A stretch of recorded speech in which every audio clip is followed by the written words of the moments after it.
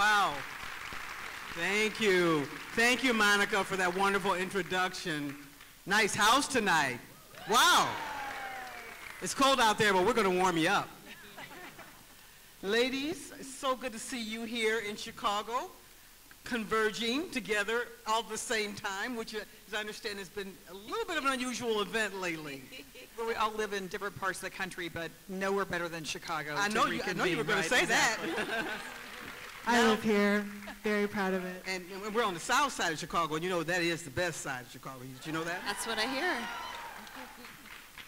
And it's, it's so funny because I've done, you know, I've done these things for the Humanities Festival and other groups over the years, and there's always a little green room, and you hang out in, back there while you're waiting for the program to start, and usually you're chit-chatting, having coffee, you know, catching up with your voice messages. Back there, they were working it. For the last half hour, 45 minutes, you were recording promos for Supermajority. Seven or eight of them you did. We got a lot of oh, work to five do. We got a lot of work to do, Laura. Yeah, we Being can't interviewed, being interviewed by Mikva Challenge, you- two young ladies from Mikva Challenge that did a great job. So you make every minute count. We really do. But that was really fun. Thank you. That was dope. Thanks for interviewing us. We learned a lot. That's right. The young people can teach us many things. All the things. So, um, supermajority. Uh, one of the things that one of the young ladies asked was, she took my question away, and it was like, you know, come on. These- You so let young people in, I know. And they take over. And that question was, you know, how, and I know you're going to talk a little bit more about supermajority, what you're doing right now, but how do each of you personally come to this moment where you find yourself working together as a, as a very diverse trio on a, on a really unprecedented movement? Uh, I'll start with you, Cecile. How did you get to, what's your personal moment or your personal journey that got you to here to, to supermajority? So uh, I've been an organizer. I've been very fortunate to be an organizer my whole life. Grew up in Texas where my parents were against everything, so we just learned how to organize at an early age. Um, but I, you know, that can be. Uh, but I, I spent the last 12 years um, at Planned Parenthood, and I had this experience after the last election where I, I don't care whether it's on the subway, on the street, that there was somebody who would come up to me, a woman, always, almost always, and say, what am I supposed to do now? And there was just this incredible feeling of, and of course, we saw the Women's March, the largest marches in the history, recorded history of the United States, right, including here in Chicago, including We, we were one of the biggest ones here. Exactly, exactly. And it just seemed like this moment um, that we really needed to figure out how to answer that question. That I think women who had been marching, they'd go into the town hall meetings, they were um, organizing around family separation, they were organizing to defend Planned Parenthood access, which we did in fact. And if I could just point out, it was women who defended the ACA and Planned Parenthood um, despite the fact that the president and the Speaker of the House at the time, Paul Ryan, who is now retired, uh, wanted to shut us down. Planned Parenthood's doors are still open, and that's because women organized in this country. And I think that's, that, yeah, exactly, we can give it up for that. But it was this idea that, wow, if we could connect some of the best women organizers in the country and take over, how awesome would that be? And Take uh, over the country we're talking about. Exactly right. exactly right. And anyway, but I mean, not to make a um, make light of it, but Ai-jen and I had worked together before. I knew Alicia more by reputation and just being such an incredible organizer.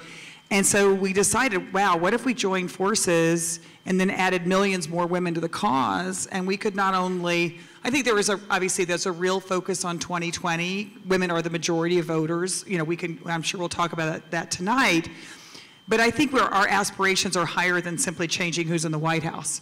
Is saying, actually, what would, a, what would this country look like if women were actually, and all people were actually really equal, and really there was gender equality. And that's our North Star, and like, how do we actually imagine that world and go build it? And that's really what Supermajority is trying to do. Cool.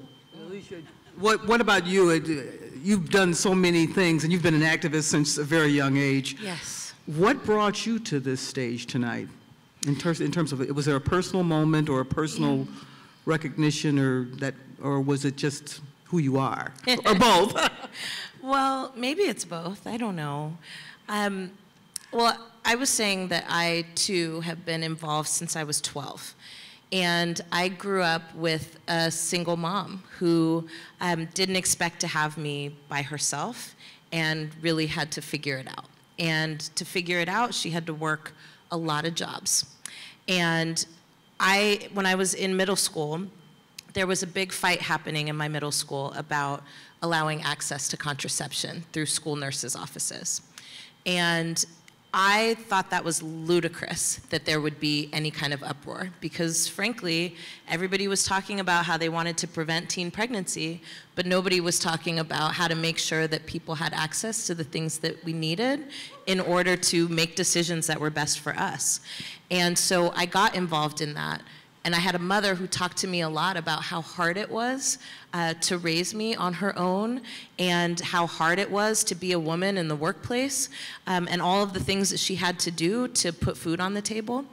And I didn't tell this story backstage, but I will say that my favorite memories of my mother, and she passed away last year, but my favorite memories of my mother are waking up in the middle of the night and I would see a light on in the kitchen and I would walk towards that light, and there my mom would be at this little table by the window, and that was her time to be alone, right? And when it was her time to be alone, she was either, you know, watching her show, she loved Law and Order, she knew every character, but she was also, I could tell, like trying to figure out how to make everything work. There'd be receipts everywhere, and bills, and coupons, and all the things.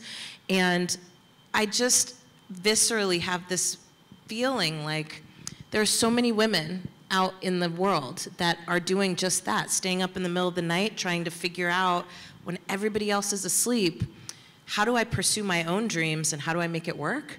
And I'm committed to building the kind of country where um, women don't have to stay up at night trying to figure out how to make it work.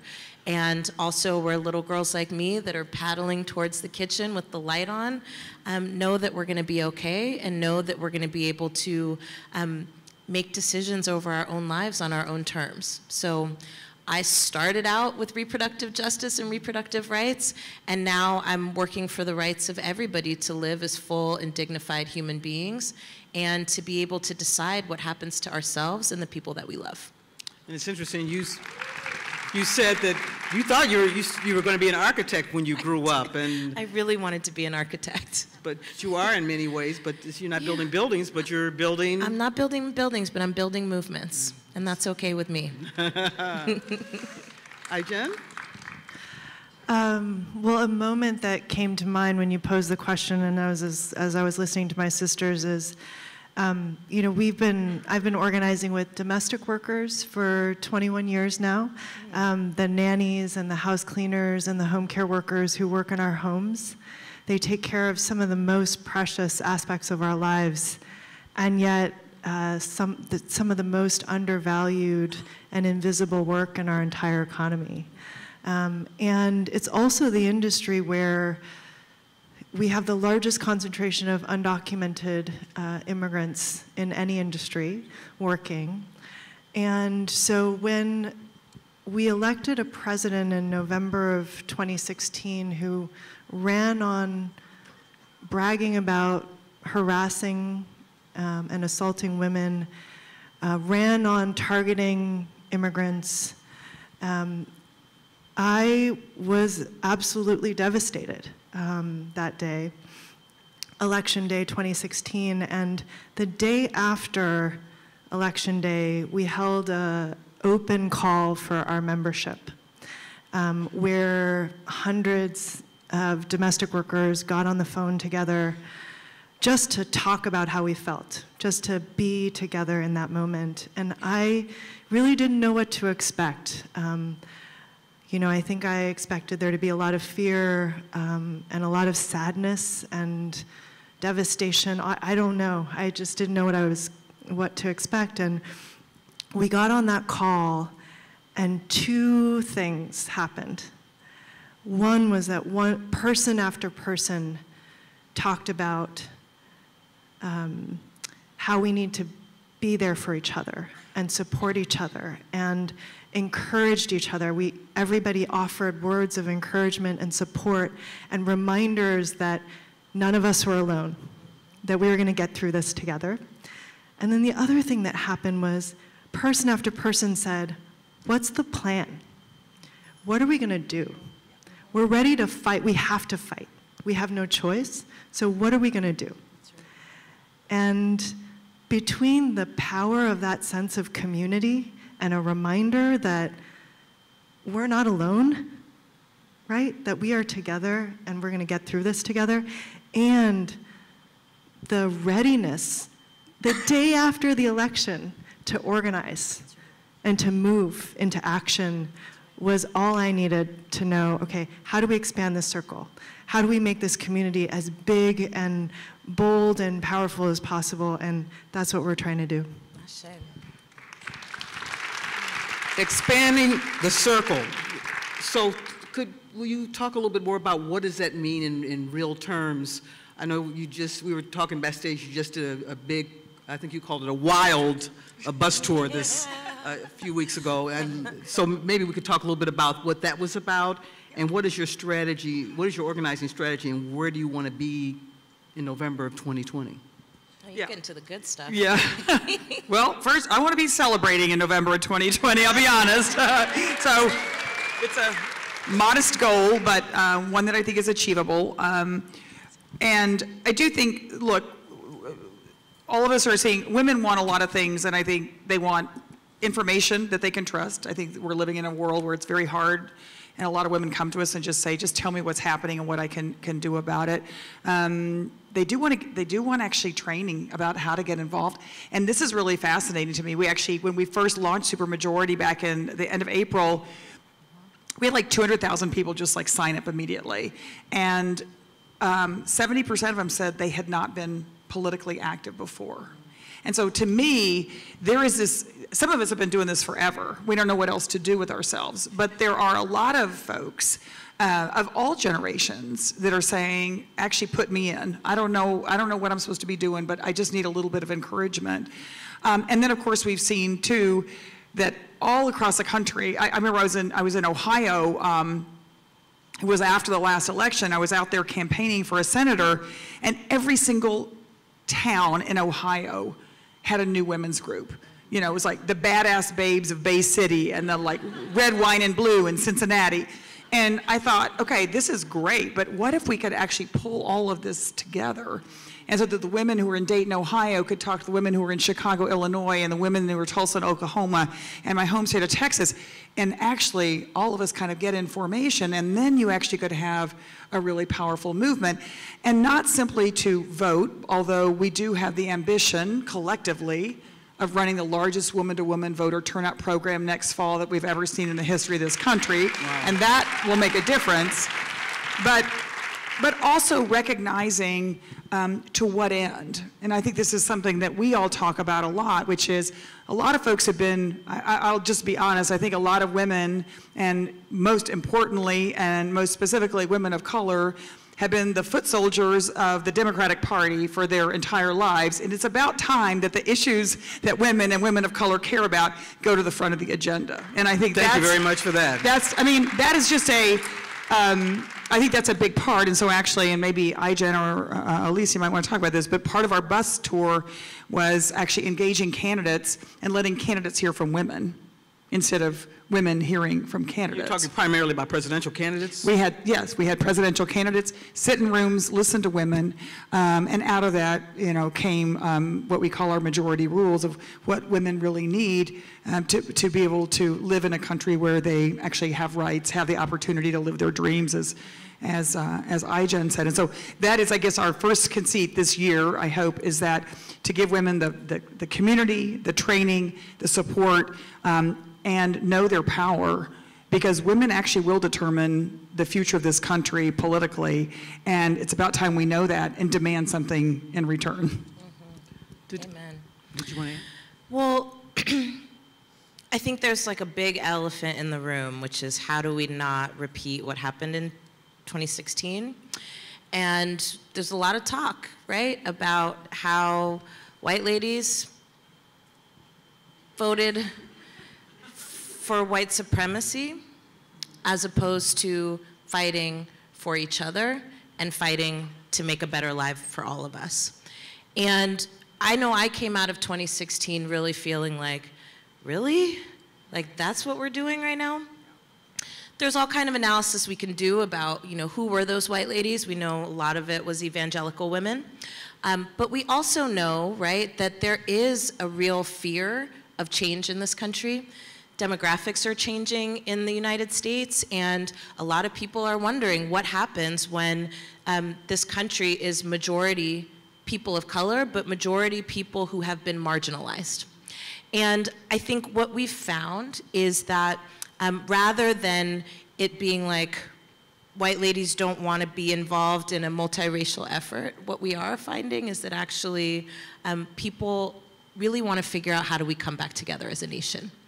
And I, I know Cecile and I were in Detroit together and we had a panel of local organizers who really talked with us about how it is that they build movement across identity, across gender, across sexuality. And, you know, one of the things that we talked about was like, what are the hard parts of coming together and working together? And a lot of it was like, how do we navigate the fact that we've been kept apart from each other for so long and we've been told all of these messages about each other and how we're taking things from each other as opposed to people taking stuff from all of us. And, you know, after that panel, interestingly, there were white ladies sitting in one corner, and then there was women of color sitting in the other corner, and it's like black ladies over here, right? Everybody was in their groups. And I can tell you after that panel, everybody got up, the white ladies in particular got up and said, okay, we can start right now, right? So just went to go get to know other people in the room.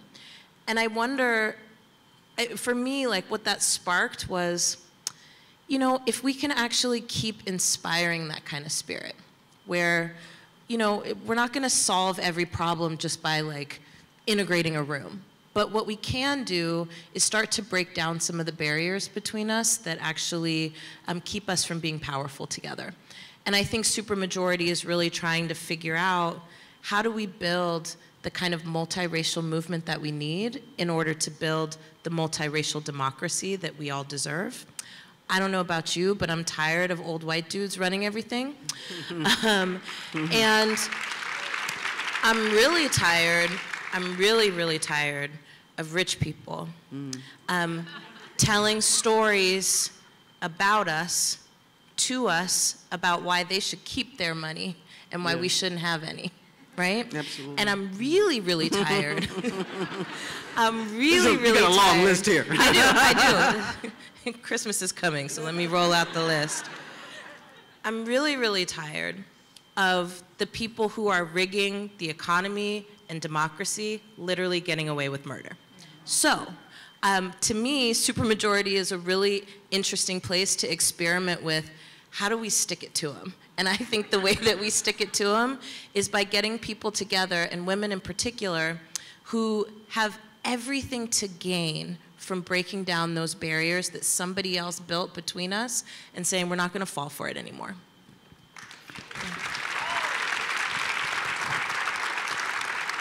And just to build off of that, I, one of the things that we've been doing a lot from the beginning, even before we launched Supermajority, is doing a lot of listening to women in different communities, and from Alabama to Ohio to um, Colorado, every rural, rural, urban, suburban communities, we've been listening. And, and we think that's, a, that's really important because the power of this movement is going to be really honoring all the different experiences. Women are not a monolith by any stretch of the imagination. And being able to honor all of those different experiences and tapping into that wisdom and insight and experience to build a powerful movement is going to be essential.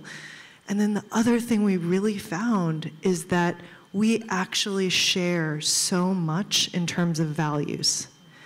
We did our own poll where 70,000 women responded to this poll we did about priorities, values, what do we care about, what do we want to see in the future. We did research where we oversampled for groups that are underrepresented in every aspect of our lives so that we could really understand what was going on and what people thought and felt. And at the end of the day, we share so many values across all of our different experiences, the notion that we should all be able to live and work in safe environments, that our work should be valued and seen and honored by this, valued in this economy, that our government should represent us, right? These are core, unifying, majoritarian values that are under threat right now. They're under a direct attack. But if we all share them, we absolutely have the power to transform this country and make that our future, have those values shape our future. And having that conversation, that's what the majority rules is. The majority rules are an articulation of what we heard from all of the people we talked to about the values that we share.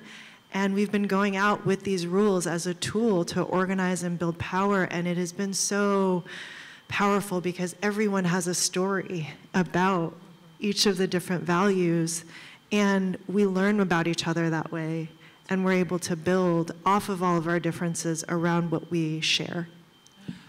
I, can I say something just Sure. to that? Because I think she, this is really, it's such an interesting moment because it's not just this political moment which we're all trying to live through um, and survive, but actually what's happening is that women who have been in isolation, either um, for whatever reason, are realizing actually it's not them, it's the system. And so when you have rooms of women, uh, realizing, well, the fact that they, they're trying to take care of their parents and get affordable child care and hold down two jobs, it's not a question of work-life balance. It's a question of the fact that the whole system is rigged against women being able to actually um, be successful. And I think there is enormous relief and community that's being built when women just go, wow, but what if we actually, what if affordable childcare was a national imperative? And not just for the women running for president, but everybody running for president, right? What if these are the things that are actually um, the everyday lived experiences of women became the agenda.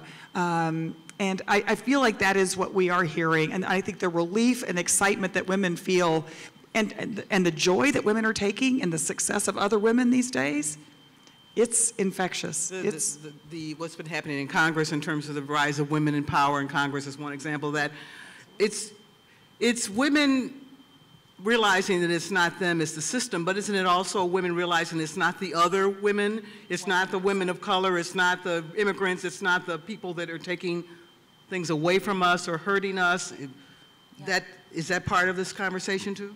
Yeah, I mean, uh, we, and, I mean, I'll just real quick, we, we started, actually, we kicked off our bus tour uh, in Atlanta, Georgia with Stacey Abrams, who we all know, when, when Stacey, yeah, let's, when Stacey Abrams won the primary and became the nominee for governor of Georgia, it was like the shot that went around the world. I just like women who'd never even been to Georgia were excited about Stacey Abrams, and I feel like that's the kind of that's what we're seeing everywhere is women being so proud of, of women who are just not waiting their turn, not asking for permission, uh, and getting out there and leading, and and that's what I yes, and I think you know, at the local level, at the national level, I mean, the fact that you have, yes, record numbers of women, record numbers of women of color in Congress, it's, um, it's really exciting. I agree. And I, it just, I think women want a rematch. I think we really feel like, you know what, um, we're not going through that again. And frankly, I know I wake up every day mad, just mad. Like I wake up, I turn on the TV, I'm watching CNN, I'm mad, right? And then I'm like going through my life and I'm mad. And I'm like, I don't want to be mad. I want to be powerful. And that's what I hear from every single woman that I talk to, whether it's on the bus tour or the trainings we've done all over the country. People are like, I'm pissed. I'm pissed that the dude next to me, who I've worked with for 10 years, I just found out he's making a lot more money than me, and we're doing the exact same thing. I'm pissed off because I have a president um, who is talking about going around grabbing women by the genitals, and that he could literally shoot somebody on Fifth Avenue and nobody would do anything about it. I want to do something about it. And actually, I don't want the story um, that gets told about this moment 10 years from now to be we let it happen. I want a rematch, and this time we're going to win. I do. Yes, we are. And you know it feels amazing? Winning. It's our self-care. It's so good. Winning is our Yeah, self care. you know what self-care is? Winning. That's right. And I'll tell you what, this weekend, or last weekend, we were door knocking in Virginia, and give it up for the Commonwealth. Yes. Talk about a supermajority. Ooh, that see that's winning. It feels good. It's excellent. And um, and I was door knocking with a candidate for the House of Delegates who came to this this country at six months old. Her parents were refugees, and she came in a boat when she was six months old. And um, and I thought to myself, you know what?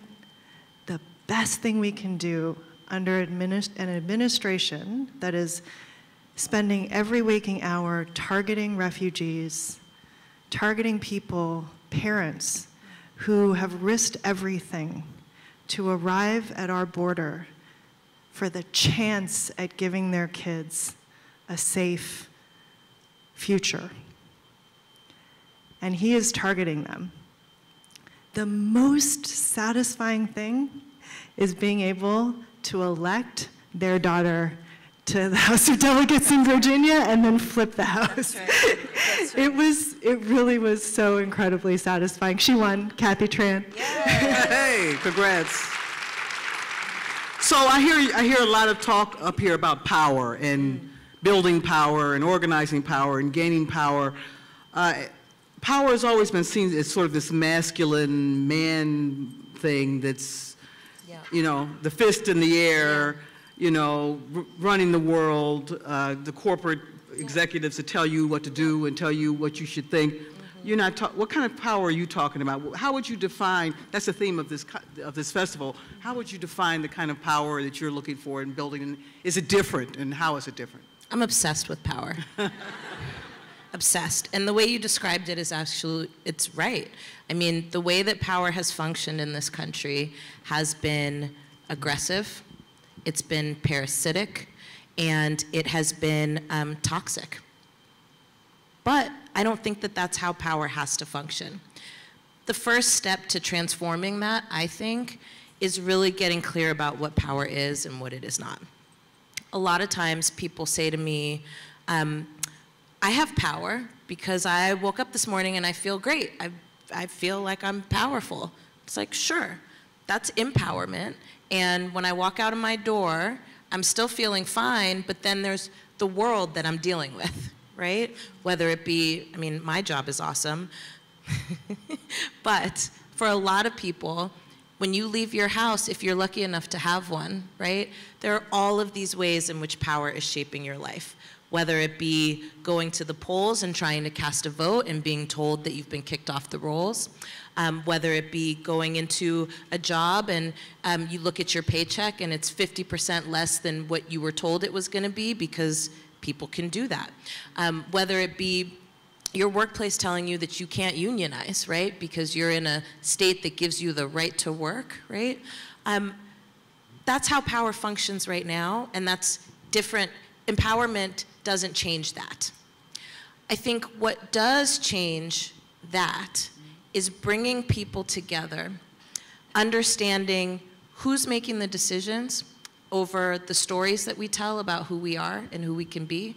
Make America Great Again is a story that's built by people in power. Um, power is definitely about deciding where resources go and where they don't go, um, and why, right? Power is 100% about um, being able to determine who represents you, right? And what they do with that, with that decision making. I think the way that we build power is bringing people together under a clear vision, knowing the things that get in the way of us advancing that vision. And I think power is about taking over the mechanisms where decisions are being made and resources are being distributed. But to be honest, it's not enough for us to just put women in power, right? It's not enough for us to put women in decision making uh, uh, uh, uh, places of decision making if the decisions that they're making are not under the values that bring us all into a better state of life. So, what we're doing at Supermajority is not just trying to change who's in the White House or not just trying to, you know, kick racists out of the White House or people who, you know, grab people's genitalia. We are actually trying to change how power operates, which means let's get clear about what are the values that unite us all and what are the values we should be making decisions with. If we're saying that our bodies must be safe, right, then that means that when we're making choices about where resources go, that resources have to go towards initiatives and programs and all kinds of things that actually keep our bodies safe. Um, if we're not figuring out how to transform the way that power operates, we've actually just replaced one bad uh, set of actors with another. Um, so I think what we're concerned about at Supermajority as it relates to power is how do we put more women in control of the decisions that impact our lives? And how do we change the way that decisions are being made in the first place so that we're never back in this situation four years from now, eight years from now, 12 years from now, et cetera? Well, you know, that's so inspiring and so right on. But I guess some people might feel like if we could just get that guy out of the White House, we'd be somewhere. Is, I mean, what you're talking about is much bigger, much loftier. Do we need to take baby steps and just focus on getting the guy out before we? We need we... to do both because okay. it's bigger than the guy in the White House. And even if we get rid of him, there's still the disease, right? The disease that is greed, the disease that is letting people live without the things that they need and not be able to make the decisions over their own lives for their families and for the people that they care about and for ourselves. So the guy in the White House is a part of it, but honestly, we're going to be spending another 10 years undoing the damage that he's done. But I think it's actually, and yes, and, and, and absolutely changing who's in the White House is going to be a really important thing to um, achieve. Um, but I think one of the things that to me is exciting about this moment with women is that, um, well, things weren't that great for women before this president, okay? So a lot of the things we're talking about, sexual assault being rampant in this country, uh, women losing, uh, uh, women not even having things, basic things like healthcare access, maternity benefits. I mean, I can't wait for a world in which actually employers don't see uh, maternity care as a nuisance, but rather a vital thing for basically half the workforce in America. These are, these are institutional things, and, and, and when I talked about barriers before, so I think we are, are at, the exciting thing to me is we can have aspirations higher than simply changing something in one election, but actually saying, these are the things that we need to make a to make a country that's truly equal and really shoot for that shoot for the big stuff. Um, because i look we've been making incremental change our entire lives. And I think women are finally saying, actually, if we all got together, we could demand and, and, and, and get more. Um, and not to be powerful over other people, but just, just simply say, it's time actually for it to be equal. And I think that time has come. Uh, women are now almost half the workforce. We're more than half the college students. We're more than half the law students. We just had an all women spacewalk, for God's sake, right? I mean, there is like, change is coming. And I think it's really exciting to think that we can do this across race, across issue, um, and I don't know, build the future we want to live in. Well, and, and, part of what I think you're trying to do is, and you just cited those statistics, is educate people about how much power women already have. Thank you. And where we've already come from. Which is where, where you come, come in. I mean. As a reporter, you mean. I, exactly. Yes. The exciting thing is more women are reporters now, and they're finally telling the stories of women and women of color. And you that you to me, you meet those big bad fake news media people. it's really exciting. Thank you. Ai-jen? Well, I think one thing that um, that we do have to shift is the idea. I think we put too much power in the hands of people like Trump in a way, in that in that democracy itself, I think the biggest lesson out of 2016 is if we don't participate, if we don't show up, bad things happen. And we risk losing democracy itself, really.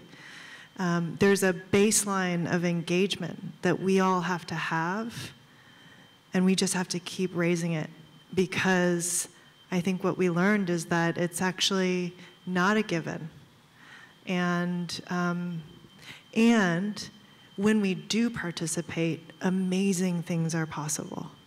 Amazing things are possible. And that is the, that is the promise of this moment, in that I think if this, even though we're facing unprecedented attacks and threats, we are also seeing unprecedented levels of activism and engagement, and that is the path to the future we deserve in this country. And it's not like we reach a benchmark and then we all get to go home and chill. It's actually an ongoing engagement that we have to have.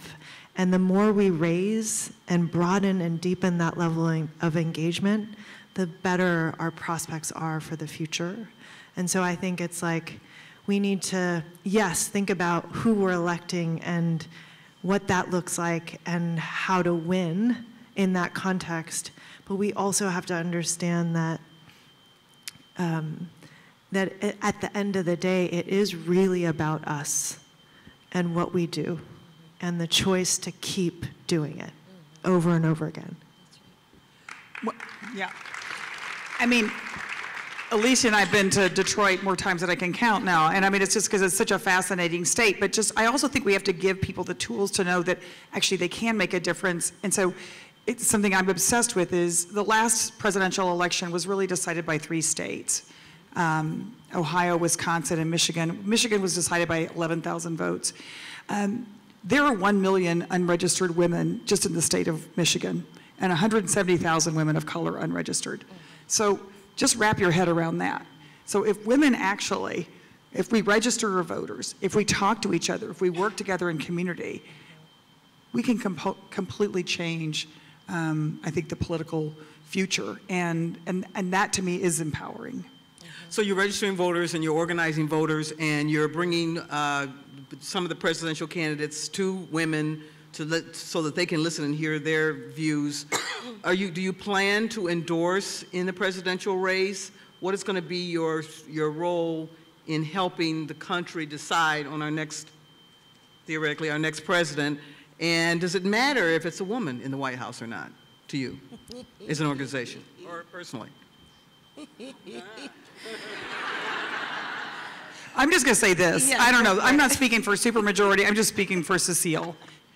There better be a woman on the Democratic ticket for president or vice president. I'm just saying that for whoever's listening out there. I mean, um, it's just, we're overdue.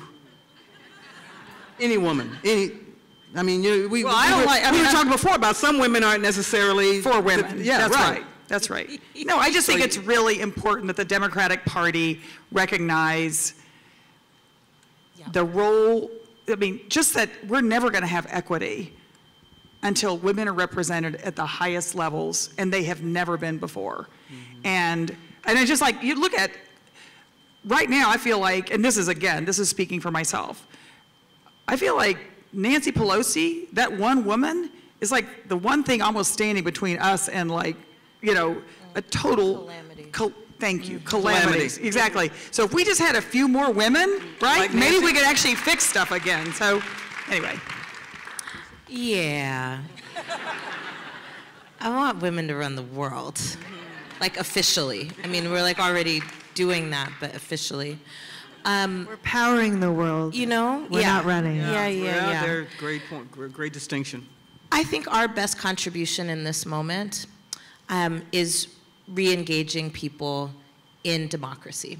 And what we hear all over the country actually is not, um, you know, will you guys throw in for Amy Klobuchar or will you stand for Kamala Harris? Like, nobody says that to us. Um, what people say to us is, um, I really want to learn how to do more. I feel like I'm not doing enough, and I want to do more. So, sure, uh, I, you know, I take people to the polls, but I think I could be, you know, getting more of my neighbors involved. Um, what people say to us is, you know, what I'm noticing is that this group that I've been working with, um, this group I pulled together, we all look the same. And we know that um, we're not reflective of what our community looks like, and we want to fix that, but we just don't know how. Can you help us think that through? That's what people are saying to us. They want to know how do we get involved, stay involved, and actually make the change that we have been fighting for for so long.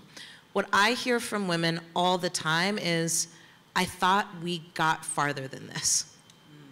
I thought we got farther than this. And I don't think people feel like 2016 was an anomaly. I think people feel like it's all hands on deck and I'm raising my hand to do more and I'll get everybody I can to do more, but help us think about what that looks like. Help train us. How do I build a phone network? How do I uh, poll watch? How do I make sure that um, that my neighbors know what their rights are when they go to the polls? That's what we're hearing. So it's when you say not they- they- endorsement they- stuff.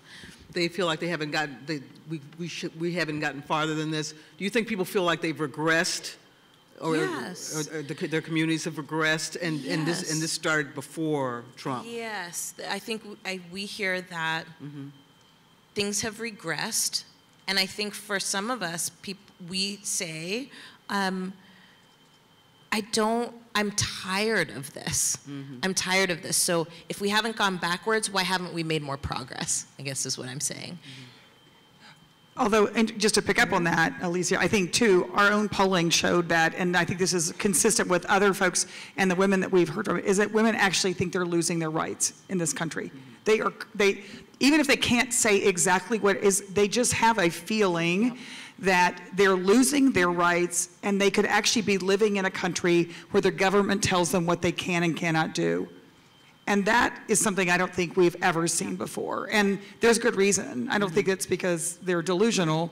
I think it's because they are seeing a government that is actually stripping away rights that, I mean, to your point, mm-hmm. folks felt like we'd settled a long, long time ago. Mm-hmm. Um, Ai-jen? And in terms of what we're going to do, Cecile already mentioned this, but we are going to stand up, we're going to train hopefully 2 million women who will mobilize millions more through the largest woman to woman voter contact program in the history of this country.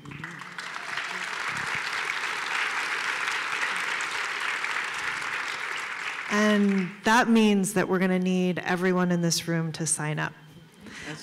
I was going to ask you about that. What do you need? But, but, but, but before we go, before, before we leave this, so are you not going to endorse in the presidential race? Is that, is that something you haven't so decided Very good journalist. I think, I think we're gonna, good. I think, I mean, I'll just say, I think that we, we don't, haven't really decided yet on endorsement strategy, but I can, I can commit to this, I think, or we can commit to this, is we are gonna absolutely spend the next 12 months making sure that everyone who goes to the polls knows the difference between the candidates that are running for president on where they stand on the basic issues that women care about.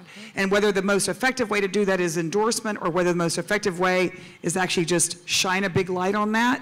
Um, because, you know, it's interesting, we, we just finished this big poll, and half the women in this country, well, two-thirds of women in this country say we're going in the wrong direction, including overwhelming number of independent women.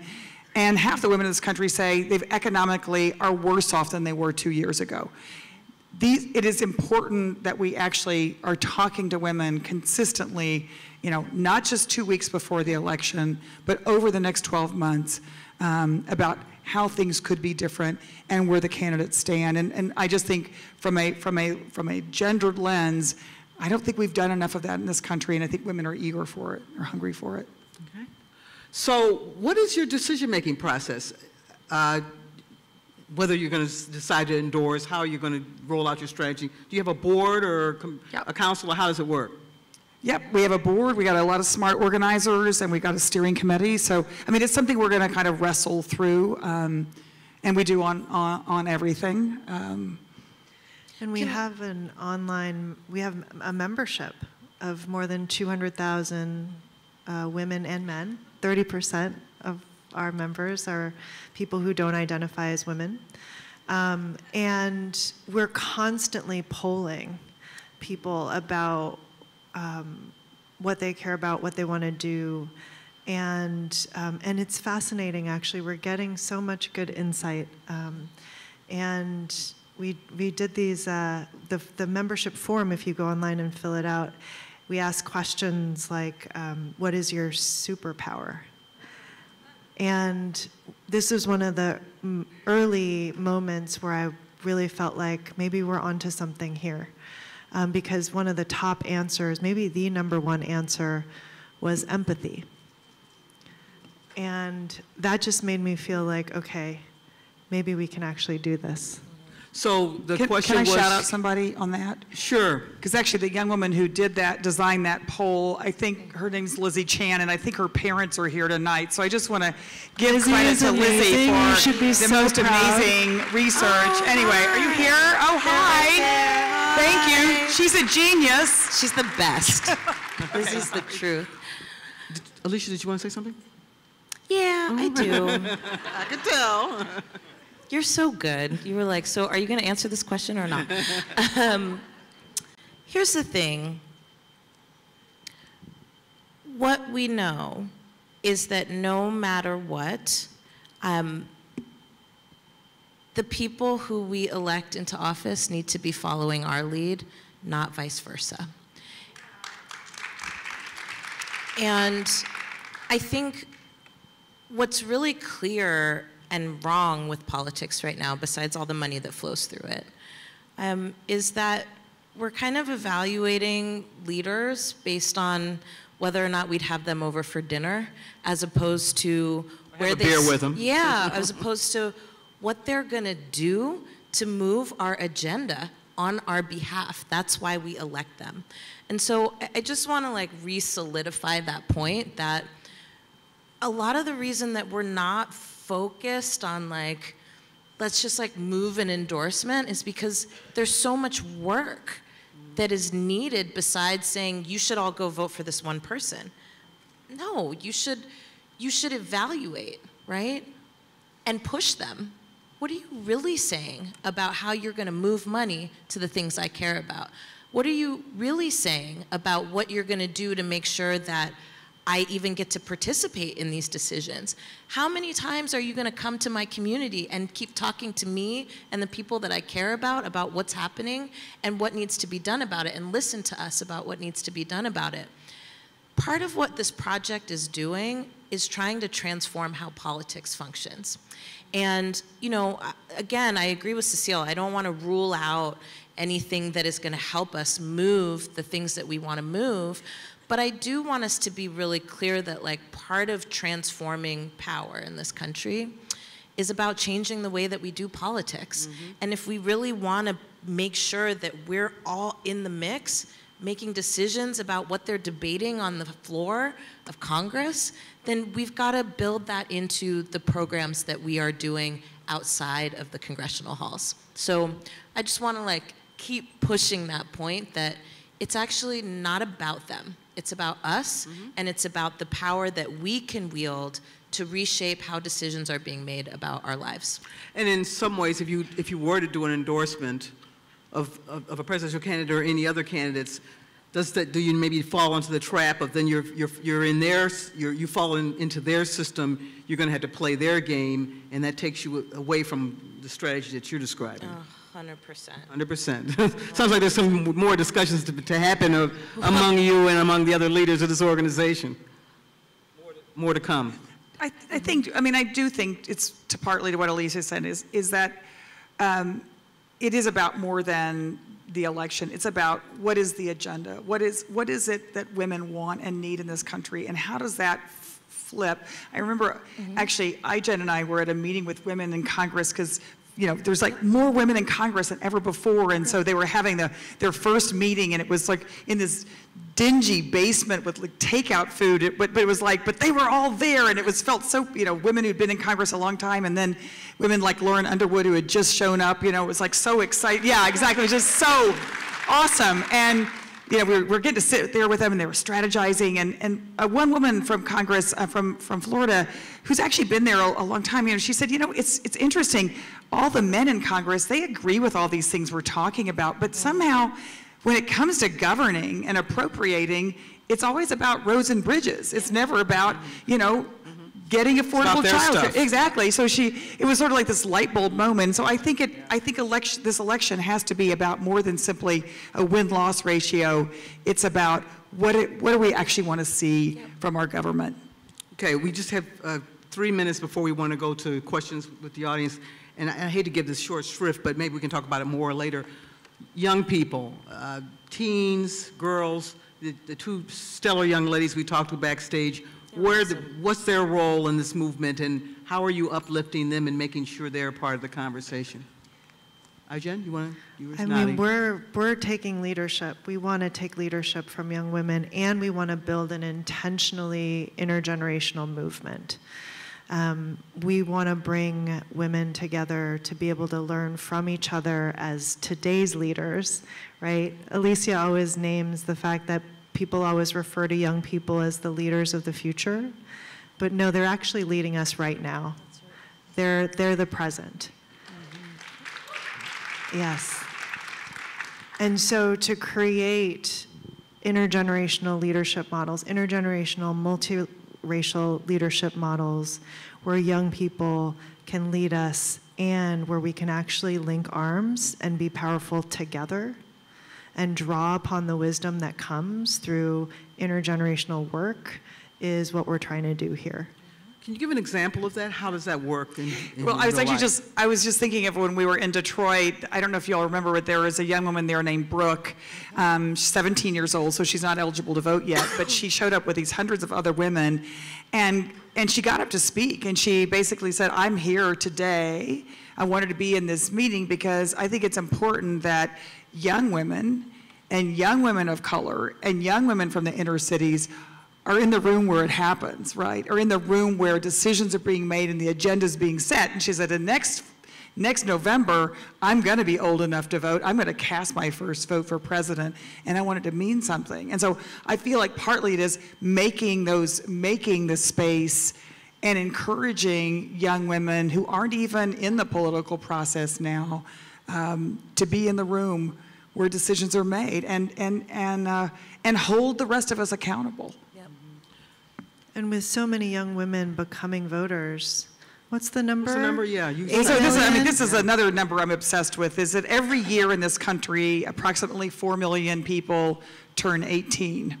So I'm not great at math, but that means approximately 16 million young people who couldn't vote in 2016 can vote next November, and we should be investing in all of them, right? Because that's the next wave. That's a lot of people, and they That's a can lot make of the people. difference. That's a lot of people.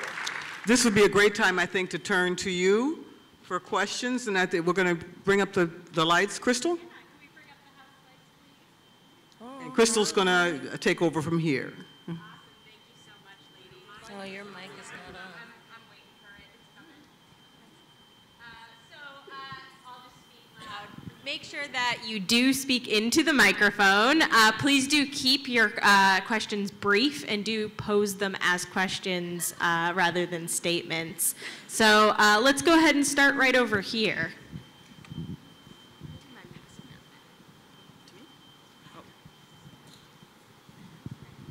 Hi, my name is Griffin Smith. Thank you. Uh, you are all very inspiring.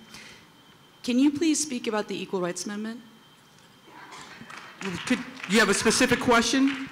I would just like to know what the recent election in Virginia, um, how you are feeling, and uh, how you think that this may allow um, for the 38th state to ratify.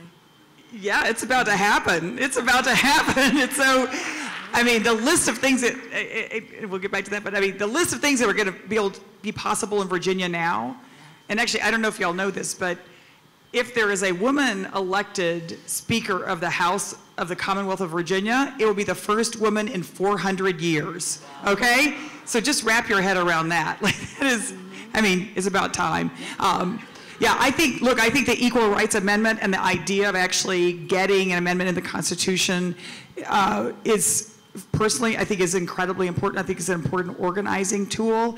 Um, we know that there's a, I mean, there's a lot of work to do, even if Virginia passes it, because of, you know, how many years it's been.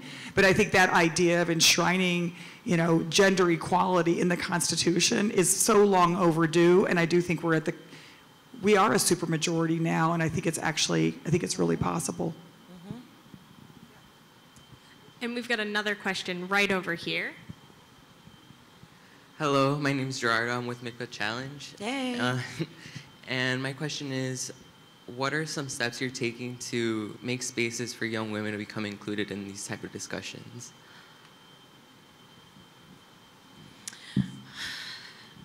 Well, we're trying to encourage people to be a part of supermajority. So I think um, what feels really important to us is that we are building across age, across gender, across race, right? But really centering the values that we think bring us all together. So that's the first thing. The second thing is, I think we are also, as we said earlier, waiting to be led by young people, right? So I think we're already inspired by people like Greta and people like Emma and, you know, folk who are already out there saying gun safety now, right? Saying urgency around climate change. And so we're just moving in lockstep. So I think we're ready to bring more young people into supermajority, and it's free to sign up, supermajority.com, um, and tell us what your superpower is. And I think also we're really ready for there to be um, uh, groups of young people who are taking action through supermajority in their communities. This is a home for you as well. One interesting thing, this is sort of actually just a fact point that I thought was really fascinating. To, so one of the things that through Lizzie, um, our brilliant um, digital um, leader, uh, and others, is that we're actually trying to actually engage more women of all ages in how they feel about things, and actually kind of, I mean, that was why it was so incredible to do this poll that just 75,000 folks just like took. They just like filled out a 15 minute questionnaire. It was amazing. And the things we learned were, were so interesting. And this is now going to be kind of an ongoing way of actually getting feedback um, on ideas. Um, it, but the, one of the, the most interesting thing that came out of this first round was we asked the question, and this is going to get back to your point. We asked the question, when did you first realize that your gender um, was going to, you were going to be treated differently because of your gender? And half of the half of these 75,000 respondents said before the age of 12. So the importance of actually engaging young young people is to me even more important. And the and the the things that that folks said were so to me were so poignant. Like one that just actually taught me about what we need to be doing to actually pay attention to young girls. Um, someone wrote, it was um, I knew I knew that I was going to be treated differently when my mom took us to um, get our underwear, and my brother got superhero underwear, and I got days of the week. right, right. So the message was, he gets to be a superhero, and you better have on clean underwear every day, right? It's so interesting, though. The things, though, that I think that we, as a, as a culture, um, you know, another another woman wrote in. She said, "I knew when um, when my mom said to me, uh, she was going back to work, and she said, "You're going to have to now take care of your brother," and he was two years older than I was. And I realized that my life was changing, but his life wasn't. And so I just, I think the voices of young people and, uh, um, and particularly young girls we have to we have to integrate this into everything we think about as as organizers because there's just um, it's still really hard it's still really hard We have a question down front. Hi, uh, my name is Lori. I um, actually just need some practical advice. Um, I find myself having conversations with men in my life who are generally progressive, but seem pretty blind to gender being an issue.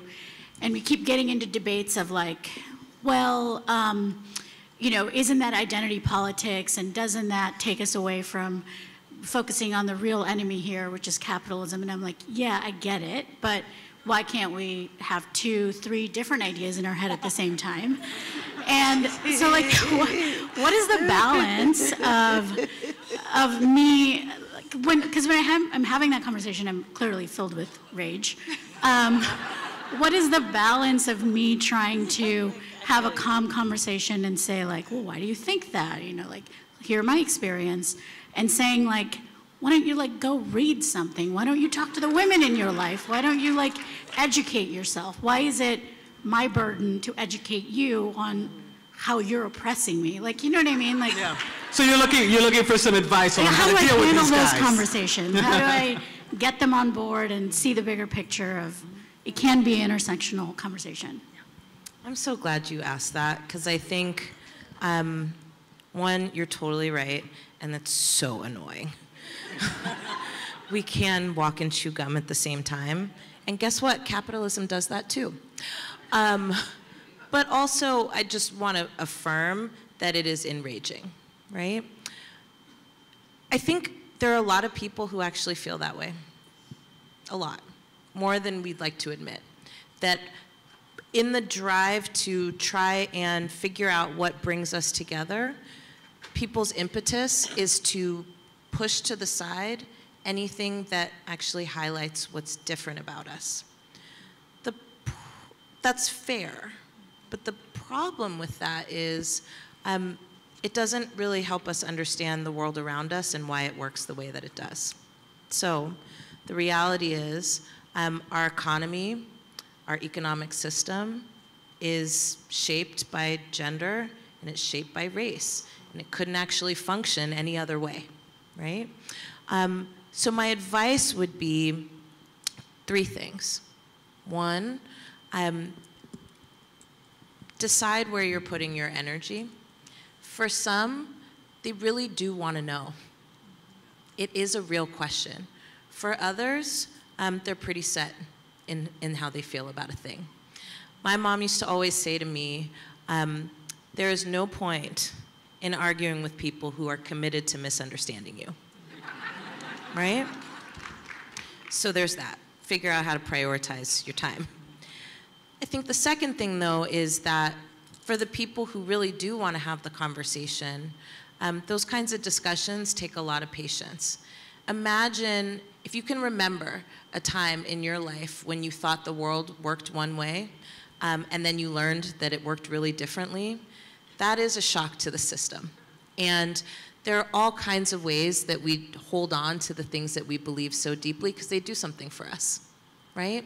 It's probably hard for your friend to um, acknowledge, right, that the way they thought the world worked um, actually hurts you. Yeah, that's what's underneath that. Um, so I would say, like, those conversations take time and patience, and you don't have to do it all. For now, the internet is free. and also, you can enlist the help of your people.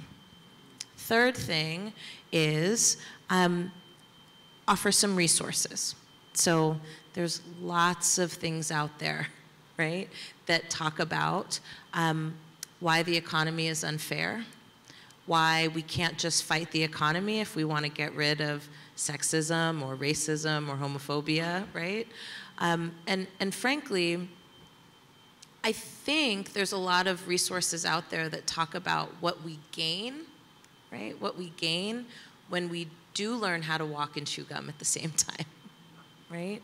Um, I would say probably your friend um, wants to figure out how to be a real friend to you and is really grappling with what does it mean that um, actually the way I'm living my life every day might be making it so that you can't live your life the way that, that you need to in order to find your full dignity. That's what I got. Book it. And we've got a question to your left and in the back. Hi, my name's Kathleen. Um, when we talk about women and our ability to realize our power to affect change, um, we tend to talk about it at the federal level, whether it's Congress or the executive branch. And I would love for you to speak to it as to the importance of our work together as a community on the state and local level as well. Yeah, I mean, what's the phrase? All politics are local. Um, so many, there's so much at stake in local elections, local and community level decisions. So much about how we live and work and care. So many of those decisions actually do happen at the local and state level. And I will also say that while our federal government is stuck, that states and municipalities are the, the laboratories where we can actually start to, to build the future that we want to see in the country as a whole. States and municipalities are the beacons of hope, right? You can do things here in Chicago. You can model what actually needs to become federal policy one day. Um, and you here in Chicago, we here in Chicago can make that decision. It's incredible, actually, that despite what's happening at the federal level, there's still so much room to make progress at the local and state level. And I'll just say that just last week, Philadelphia became the city to pass the most progressive domestic worker Bill of Rights in the country.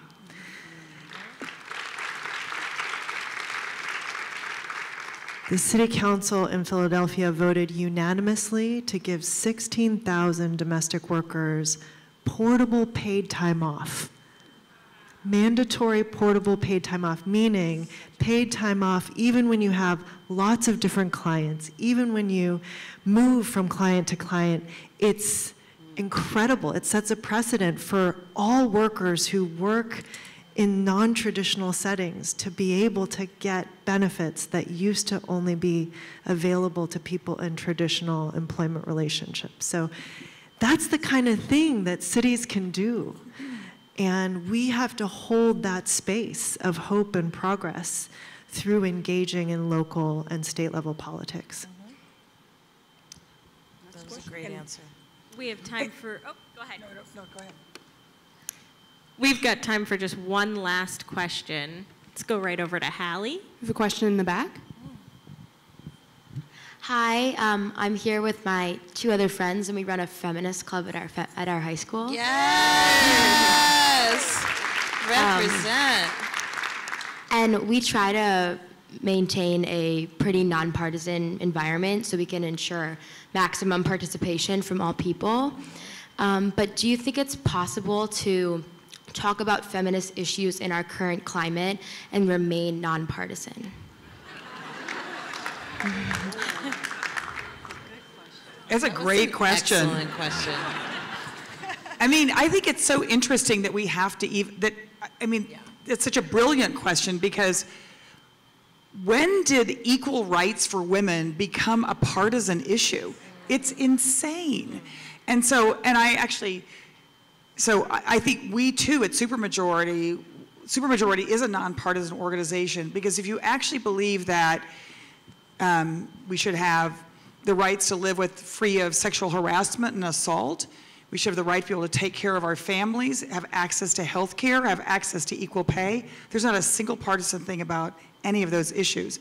And so I guess my advice to you as or young organizers, one is like, bravo you, is don't allow these to be segregated off as partisan issues. Maintain, I mean, just, you, we have to continue to lift these up as super majoritarian issues because they are. Um, and I feel like one of the things that is, and, and Ai-jen talked about this a little bit earlier, but I think we are being fed this line that somehow this country is all divided and no one can agree on it. I actually think the things we're talking about, the overwhelming majority of people in this country agree with, and we cannot allow this to become somehow um, you know, separated out by political party because um, it's just it's just simply not not right. So anyway, um, and yet the only other thing I want to say to, to kind of echo what Alicia said is sometimes too there's folks you just don't have to waste your time talking to. Well, it's important that you are talking to, to us tonight, and one sentence from each one of you as we leave. What's the one thing, they- this audience needs some marching orders. What's the one thing that we should do going forward? Sign up for supermajority. Yeah. But what else? That one, one sentence each. do more than you're doing now. It's going to feel better. You're going to make change in this country, and you're going to meet amazing people on the journey. Mm. Alicia? Make democracy a part of your everyday life. We cannot just sprint to uh, November 4th or 5th of this year and then say, whew, we did it, that's it. Actually, the real, real work begins the day after the election. Think about what you want to be able to tell your grandchildren about what you did to save our democracy and put this country back on track when they ask you, which they will. Thanks for all you do. Thanks for the wonderful conversation. Thank you for coming.